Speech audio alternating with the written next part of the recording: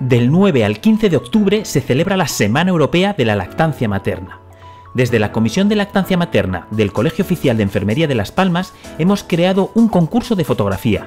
La participación es libre, cualquier persona podría enviar sus fotos, las cuales deberán centrarse en el lema que la Organización Mundial de la Salud ha elegido para este año, facilitar la lactancia materna, marcando las diferencias para las madres y padres que trabajan.